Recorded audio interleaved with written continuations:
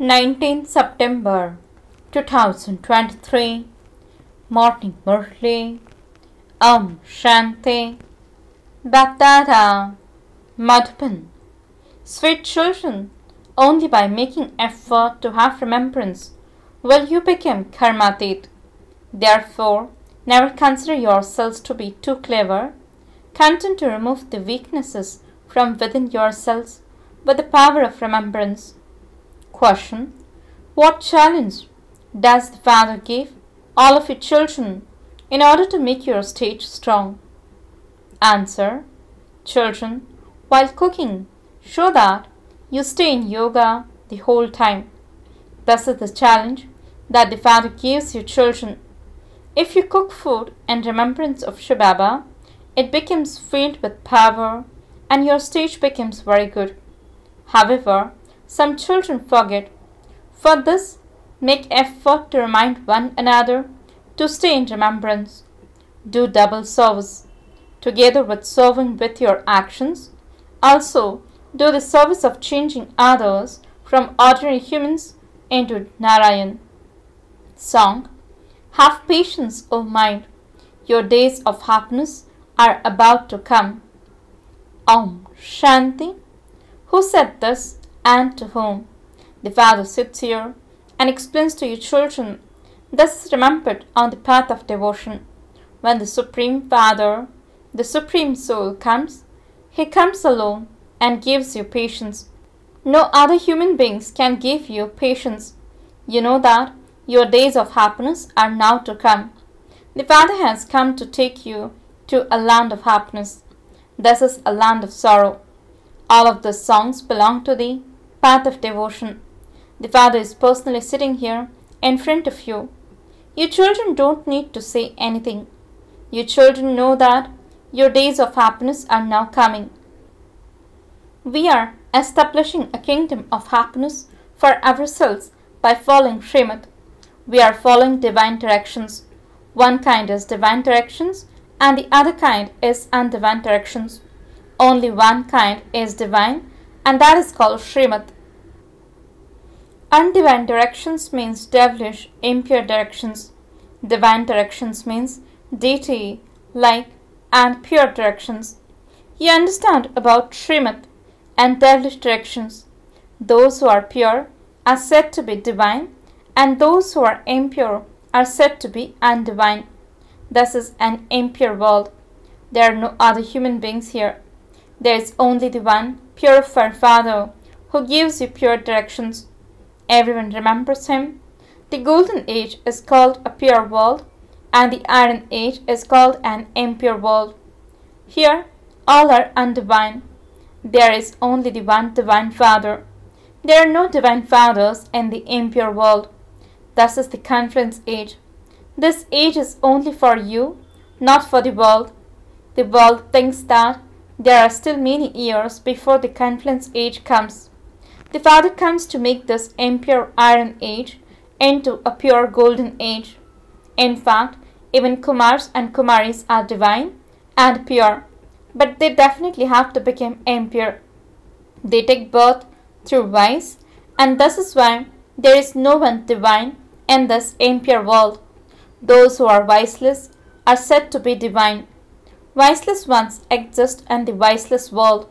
That is the viceless, completely viceless world. Since there is the completely viceless world, there would also be a completely vicious world. Thus is a completely undivine world. The golden age is called the completely divine world.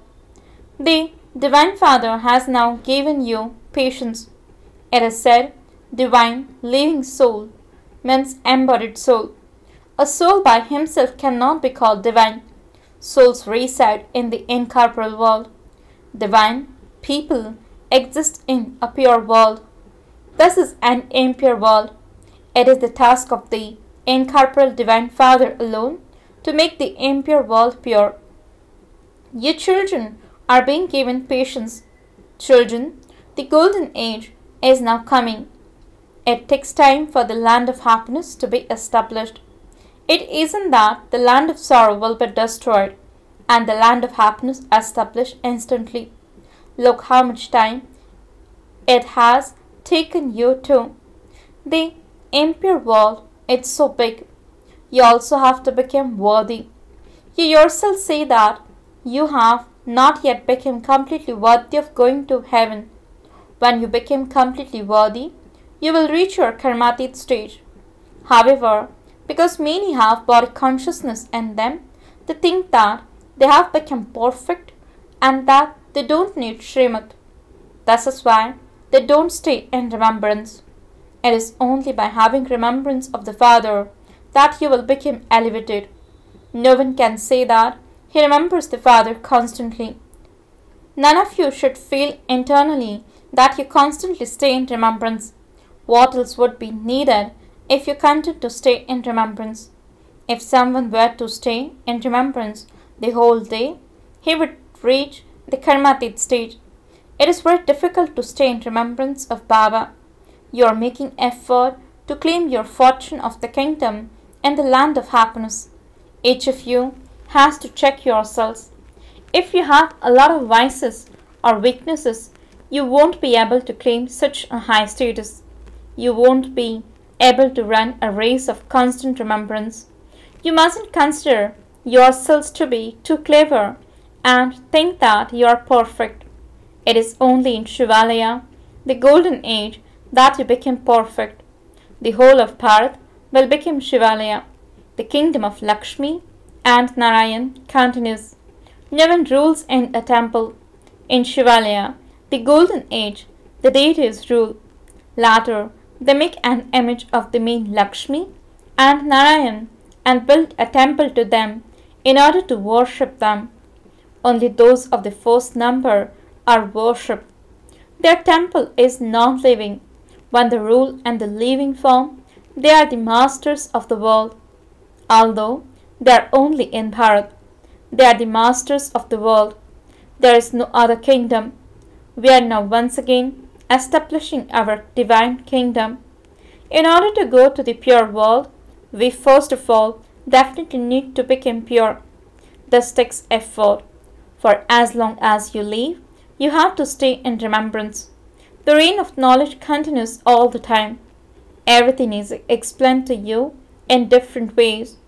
In fact, no one except Lakshmi and Narayan can be called pure or divine. The Father establishes heaven, but even then it changes into hell. The drama itself consists of happiness and sorrow. Shankaracharya comes and establishes his own relation, but even then the twigs and branches would be old. There is praise of the sannyasis. Ramatirtha and Vivekananda have been remembered because they came after Shankaracharya. When new one comes, they show themselves men stand out. However, this cannot be called Shivalaya. There is just the one golden age, and that is established by Shiv. People don't know about those things at all.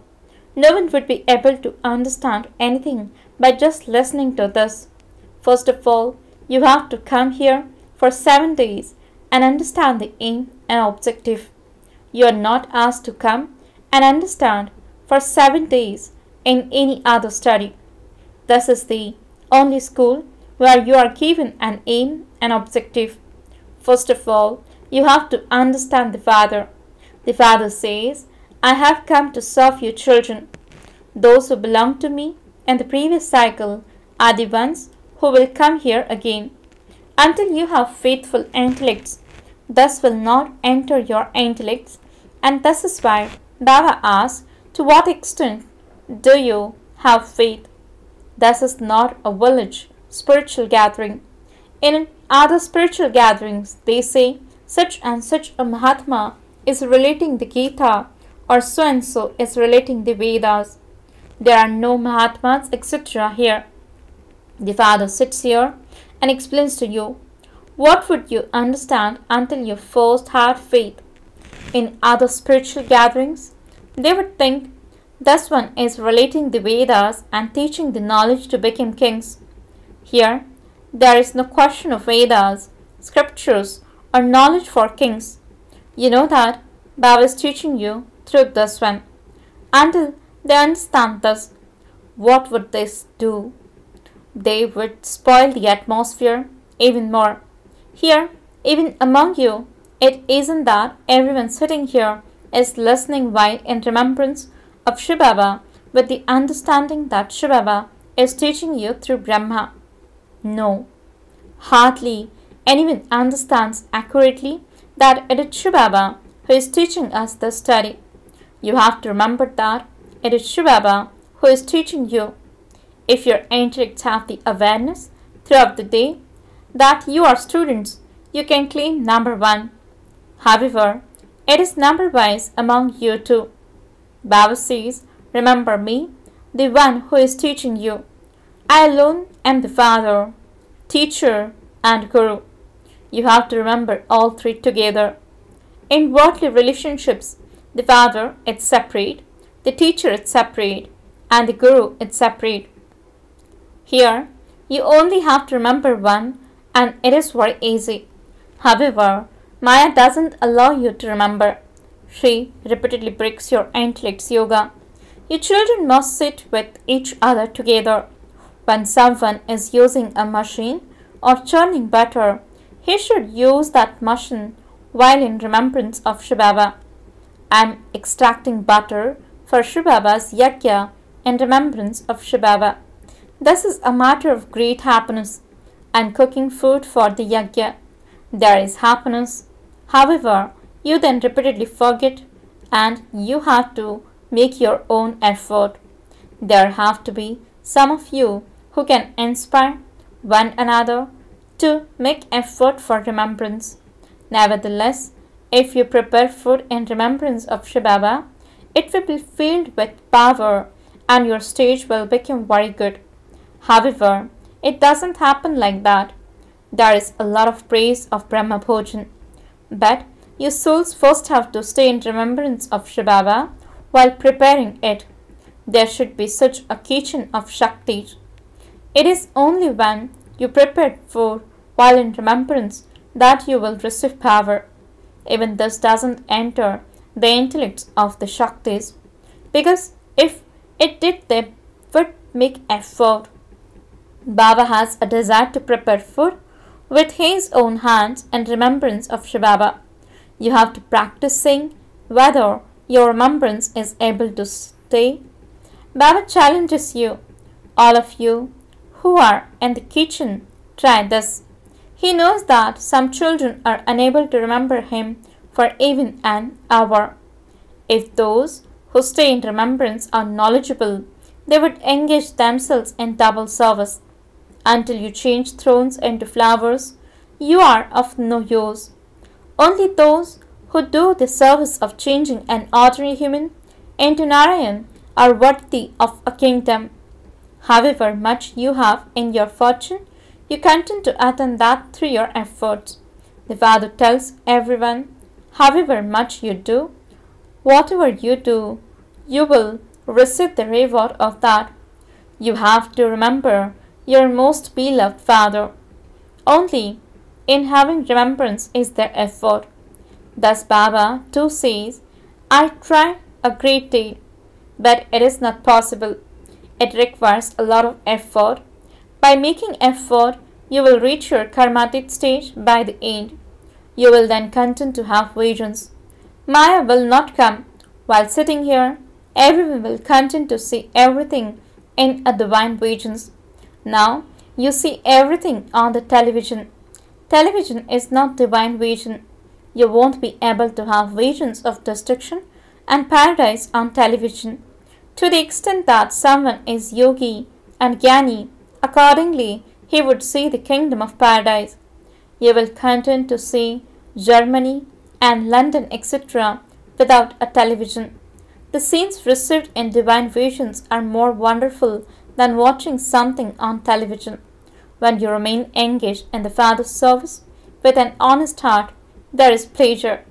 Your intellects also say, at the end, Baba will offer you great hospitality to take you around on a tour and to entertain you is called hospitality. You also have to be worthy of that. By remembering the one who makes everyone worthy, you continue to become worthy. To the extent that you remember Baba and continue to spin the discus of self realization. Accordingly, there is benefit. By remembering the seed, you will also remember the tree. No one except you understand these things.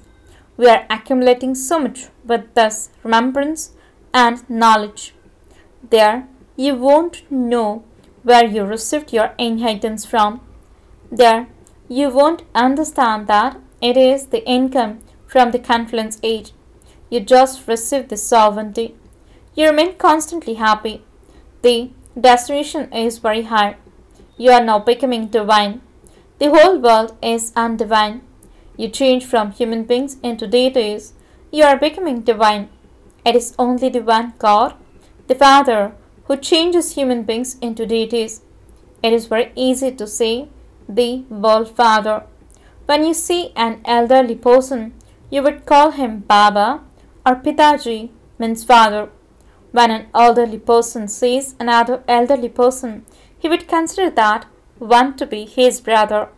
When young ones see older ones, they consider them to be like their father. No one knows about the incorporeal father. They simply say God the Father. They don't understand that they are souls and that He is their Father the Father must definitely be giving you the inheritance. You now know that your Father is giving you the inheritance. We were repeatedly calling out and praying for this inheritance. He Himself is now teaching us. We have now become free from praying and performing devotion. This knowledge is very enjoyable. Baba says, You say that I'm your unlimited Father. So, why do you leave me and let your intellects go to your physical fathers. However, if it is not in someone's fortune, thus doesn't sit in his intellect. They themselves say, I don't have the sovereignty of Rajayoga in my fortune. Therefore, what can Baba do? Why are you not making your fortune? None of you are forbidden to make your fortune. If it is not in their fortune, they leave Baba. Then Maya, the cat, creates confusion in their intellects. What can the father do? You have to conquer Maya, the cat. If you have remembrance of Shiv Baba while doing your work, etc., there would be great benefit. There can be great benefit by remembering Baba for even a minute. Continue to caution others, and then whether they accept it or not is up to them. Baba gives you many wise methods. Acha, to the sweetest, beloved, long lost, and now found children, love, remembrance, and good from the mother, the father, Bapdada. The spiritual father says, Namaste to the spiritual children. The spiritual children says, Namaste and morning to the spiritual Father. Essence for the dharana. First point. Make effort to remind one another of the Father. Remember all three together the Father, Teacher, and Sadguru. While preparing food and eating it, you definitely have to stay in remembrance. Second point. Remain engaged in doing the Father's service with an honest heart. Do the service of changing thrones into flowers and human beings into deities. Blessing, may you be free from all bondages and by staying beyond gross feelings become an angel and fly. Explanation The land of bodies is to have gross feelings, but when you have become angels, how can you then come into a land of bodies? Angels do not set foot on the ground. Angels means those who fly. They cannot be pulled down by gravity. If they stay down below, they will be hunted by the hunters. If they continue to fly up above, no one can do anything. This is why, no matter how beautiful a golden cage may be, you mustn't become trapped even in that. Only those who are constantly free free from bondages, can go into the flying stage. Slogan Those who make the impossible possible and experience success are stars of success. Om Shanti